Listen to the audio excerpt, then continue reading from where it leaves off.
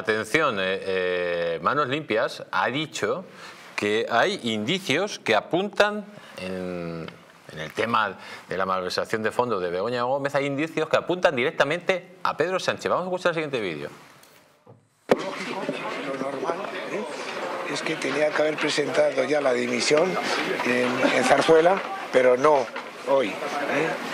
Pre- Previsiblemente lo tenía que haber presentado el mismo día eh, que se habían abierto diligencias previas informativas penales eh, contra Begoña eh, Gómez. ¿En algún momento pensó usted que con esa denuncia podía provocar todo lo que se está provocando alrededor de Pedro Sánchez?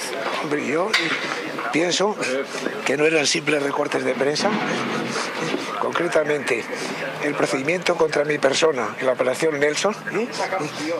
derivaba de una denuncia anónima, de una denuncia anónima y de una comunicación de esa denuncia anónima en un medio de comunicación de ámbito nacional. Por lo tanto, pero, pero no obstante hemos aportado el día 17 una documentación complementaria que nada tiene que ver con la noticia criminis y en esta semana vamos a seguir aportando más documentación. Esas informaciones que se publicaron no son falsas y nosotros el viernes pasado avalamos que esas informaciones que aparecieron en esos medios de comunicación están avaladas documentalmente y es lo que hemos aportado el viernes pasado al juzgado número 41. ¿Tienen más ¿Tienen pruebas? más pruebas? ¿Eh? ¿Tienen otras más pruebas? En esta semana vamos a aportar más pruebas. En esta semana vamos a aportar más ¿Que pruebas. implica a la mujer del presidente del gobierno o alguien más? ¿Eh? ¿Implica la Hombre, mujer yo del creo, yo creo, y es, y es de, de cajón, ¿eh?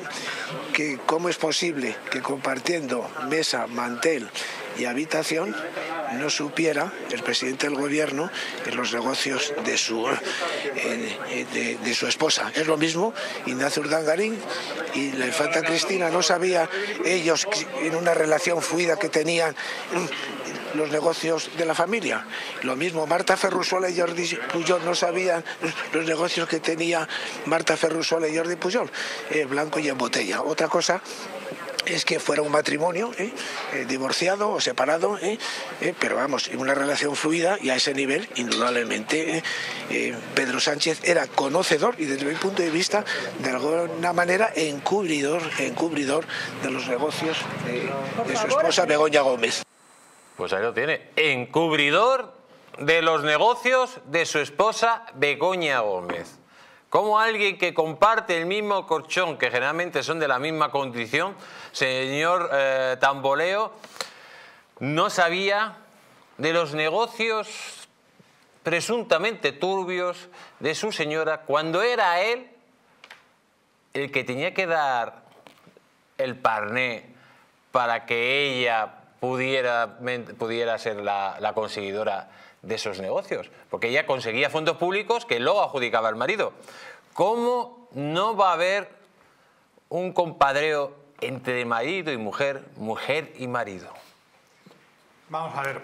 Eh, compadreo puede ser, eh, el compadreo puede ser muy grande, pero lo que hemos vivido en estos eh, últimos cinco días con una ausencia absoluta de la oposición es una operación mediática en la que Vamos a centrarnos Sí. en, en el tema este. O sea, ¿usted cree que Pedro Sánchez no sabía de, de lo que hacía su mujer? pues a lo mejor no, A lo mejor no. claro, a lo mejor no, y si no habrá. Y si a lo no- mejor sí. y si no habrá que probar, y si no habrá que probarlo, y si no habrá que probarlo en un juzgado. O sea, hasta que eso, hasta que eso no, hasta que eso no se pruebe, está muy difícil. Efectivamente, el señor este que acaba de hablar le dice, no, oiga, presente usted pruebas, porque es que hasta ahora no ha presentado ninguna prueba. Eh, entonces, Pero no, porque yo como periodista pienso que detrás de los artículos de medios de comunicación, que es lo que avala la querella, hay una investigación detrás. Es que yo me encuentro en las manifestaciones estos días, no, han presentado un par de recortes de los medios. No, perdona, los medios han investigado, han pedido documentos, han conseguido los papeles que acreditan que Begoña Gómez le dio una adjudicación a dedo al creador de su máster en la Complutense, al señor Carlos Barrabés. Es decir, los artículos no solo son artículos y solo son papel mojado, los artículos hay firmas, hay documentación, hay pruebas. Claro. a la hora de, de presentar una denuncia, que esto es una denuncia, no es una querella, probablemente le estaremos hablando de una querella y no de una denuncia, no se puede hacer con unos recortes porque esto es de primero de derecho. Esto es un cero. Bueno, pero Esto- por ejemplo. Pero bueno, quiero decir. Hazte oír, se ha puesto una querella. Sí, sí, sí, por supuesto, y Querella, querella, no denuncia. Haz- Sí, Sí, sí, ha ido exacto. en socorro, ha ido en Exacto. socorro de, de lo mal que lo ha hecho este señor. ya, eh. Totalmente de Y, acuerdo. claro, totalmente de y claro. vos también, eh, hoy la Sí, sí, es lo que hay que hacer. Y ojalá esta casa, y, y a lo mejor esta misma noche se nos ocurra a usted y yo que hemos estudiado Derecho y todos los que quieran y nos acompañen, hacer otra, eh, si tuviéramos todos los datos. Pero lo que no podemos hacer. Pero dicho esto, el, el problema está en, en una cuestión que, que le ha hecho la pregunta a don Rubén Tamboleo, que le ha respondido muy bien y que a mí me parece muy serio y muy importante. Primero, yo entiendo que sí lo sabía, otra cosa es que se pueda aprobar. Ah, Claro, pues estamos, eh, yo, es, es- es- es que yo viví el caso de la infanta y viví y, y- y con Iñaki Urdangarín y, y la infanta Cristina. Yo no, me- no- no he podido entender jamás, porque estuve enfrente, eh, en la sala, en, en el, en el- en el ju- en el juzgado en Palma. Eh, pero es que yo no he podido entender que jamás la, infanta, habiéndose construido la mansión en la, que, en la que vivía, no supiera cuáles eran los negocios de su marido, con Aizón y con, y con, eh, y con Instituto NOS. Pero es que aquí estamos exactamente igual. Es que estamos exactamente igual. Con lo que ha salido publicado, con toda la, toda la, trama que hay de Air Europa, de- de- del- de- del Africa Center, de toda esta trama que está en la prensa, que la conocemos todos los españoles, ¿cómo no lo va a saber Sánchez de su mujer? ¿Es que no se lo ha preguntado? Otra cosa es que lo podamos demostrar o no lo podamos demostrar, que lo hagamos bien o que lo hagamos mal. Esa es la cuestión. Intentemos hacerlo bien para que estas cosas vayan donde tengan que ir y tengamos todavía más fuerza. Pero repito, don Rubén lo ha expresado muy bien. Eh, otra, una cosa, yo no dudo que no lo sepa. Lo que dudo es que al final podamos intentar probarlo.